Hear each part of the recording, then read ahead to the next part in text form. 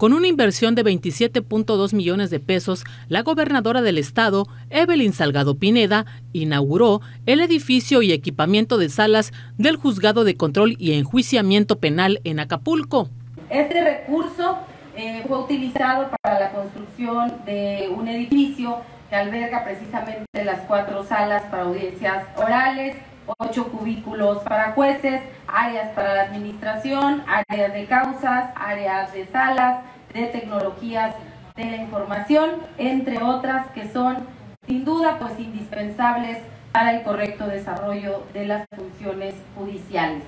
La ejecutiva estatal añadió que las salas se equiparon con la última tecnología para facilitar el trabajo del Poder Judicial. Con esta obra pues refrendamos el compromiso de nuestro gobierno con la justicia, con el ejercicio eficaz, pronto y transparente de todos los procedimientos necesarios para garantizar a las familias de Guerrero la certeza en una materia tan sensible como lo es la penal.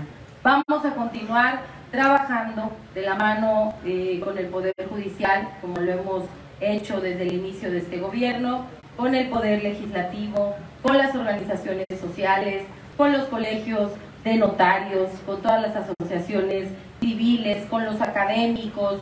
El presidente del Tribunal Superior de Justicia del Estado, Raimundo Casarrubias Vázquez, aseguró que en Acapulco se concentra el 30% de la carga de trabajo en esta materia, por lo que era necesario tener cuatro salas de audiencias más junto con el equipo.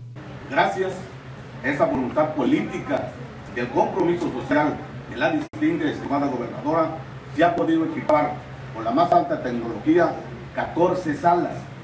Aquí en Acapulco tendremos las 8 que ya, 4 que se van a inaugurar el día de hoy y 4 que están aquí que se van pues a, a volver a equipar.